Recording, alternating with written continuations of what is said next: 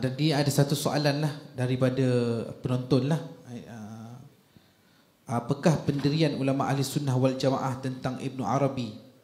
Uh, kerana adalah beberapa netizen yang menyatakan bahawa beliau adalah sesat. Jadi dia mohon pencerahan lah. Uh, boleh secara ringkas. Bismillahirrahmanirrahim. Saya terus respon kepada soalan berkaitan Al-Imam Ibnu Arabi. Dia ada dua tokoh tuan yang keliru eh. Ibnu Arabi tak ada alif lam. Ini yang sedikit kontroversi. Yang clear pengarang kitab Al-Awasim min Al-Qawasim dan uh, yang mensyarahkan uh, hadis Imam At-Tirmizi iaitu Al-Imam Ibnu Al-Arabi bermazhab Maliki. Uh, kena bezakan dua ni eh. Ibnu Arabi dengan Ibnu Al-Arabi. Yang ditanya ialah Ibnu Arabi tanpa alif lam. Okey, kita tuan-tuan nak komen pasal orang cerdik, orang telah berada pada kedudukan yang istimewa di sisi Allah Subhanahu Wa Taala. Satu benda yang sepatutnya kita jaga lisan kita, jaga tangan kita jangan komen sebarang-sebarang lah. Ya, tadi kalau simple soalan Ustaz tadi tentang fiqah pun tuan-tuan, kita beralas kita tak pernah kafirkan mana-mana ahli qiblah. Paling maksimum pun Dr. Sri kata tadi makruh. Masih sah lah. Tapi kalau betul-betul di mujassimah, musyabihah tu janganlah sembahyang belakang kan. Tuan-tuan eh. Jadi mungkin kita tengok uh, konflik uh, kekeliruan yang berlaku pada menentukan boleh tak kita mengaji kitab Imam Ibn Arabi. Kalau level Dr. Yusri boleh lah. Kalau level kita tuan-tuan tak berapa faham istilah mubtadi' pun kita tak faham pecahan dia. Makrifah tadi pun ada pecahan dia. Kita tak boleh baca lagi. Dan maksud saya tak baca tu bukan saya main main bantai jawab tuan. Saya merujuk kepada kenyataan Al-Imam Syekh Abdul Qadir Isa. Dalam haqaiq ana tasawuf, maka Syekh Abdul Qadir kata untuk level awam dinasihatkan jangan mula-mula meloncek kepada kitab-kitab Imam Ibn Arabi. Kitab-kitab uh, Imam Al-Jili Al-Insanul Kamil ini kitab-kitab makrifat hakikat ni tuan bukan level kita. Itu dulu kalau di Paudison kalau permata Negeri Sembilan, bak kata Syekh Ahmad Marin, uh, Syekh Abdullah Sijang je boleh baca kitab macam tu. Ha, kita tadi Minhajul Abidin pun tak, tak settle lagi.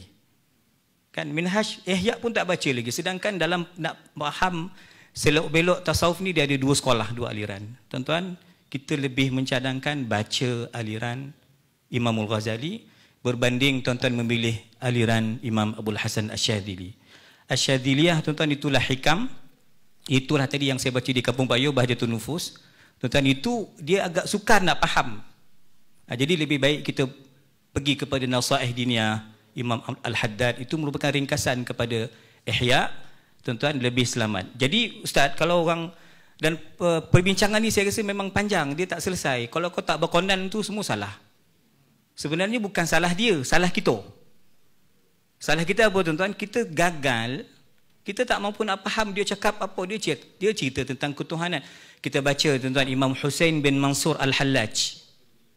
Kita baca tentang Imam Abu Yazid Al-Bustami. Sebab itu dalam silibus tasawuf ada satu subjek dia letakkan tajuk syatahat.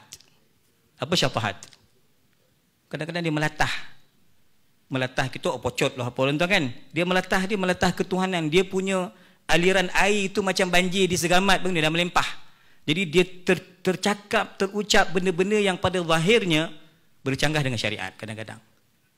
Maka yang menghukum itu bukan orang syariat. Mesti ambil orang hakikat juga yang menghukum perkara itu. Yang menentukan sesat ataupun tidak tuan ialah mesti mengambil juga orang yang terlibat dalam amalan tarikat. Kan dia tak rasa tuan-tuan, dia tak arif. Ha, jadi sebab itu saya katakan antara kata yang masyhur disebut apa? Ya, dia kata istihanatuka bi awliya illah dalilun ala qillati ma'rifatika billah. Apa makna dia tuan-tuan? Eh, kau Imam Ibn Arabi. Kau kau dia gilo, gilo isim, sosek lah apalah. Itu tanda apa? Kau tak kenal Tuhan. Menghina para wali, itu tanda kita tak kenal pencipta wali itu. Yang memberikan karamah pada wali itu ialah Allah Subhanahu Wa Taala.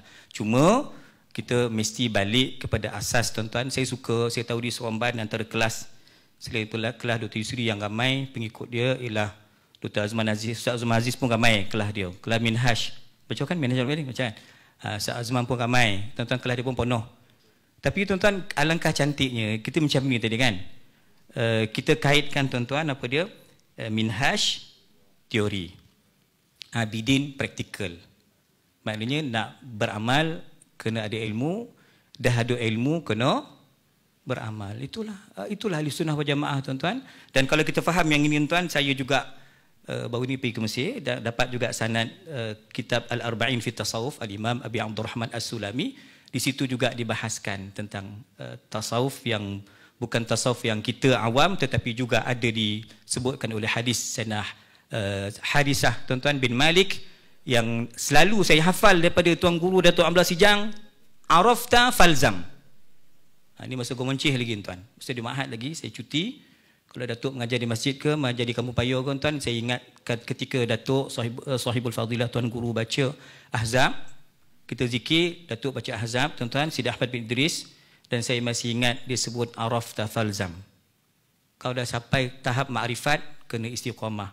Itulah makam sahabat Nabi, Sayyidina Harisah bin Malik, yang nampak arash, yang nampak ahli syurga, yang nampak penghuni neraka di sekso. Nabi kata, Arafta falzam. Wahai Harisah, kau dah tahu, dah sampai makam ma'rifah, kau kena istiqamah, pertahankan. Dengan cara yang betul, tuan-tuan. Jadi, ada orang yang capai seperti Imam Ibn Arabi ini, tapi kita yang tak capai, jangan komplain. Dan diam sudah baca kitab level kita. Settlekan fardu ain, tuan-tuan. Dah settle esok, baru masuk yang dah dalam sikit. Wallahualam bisawab.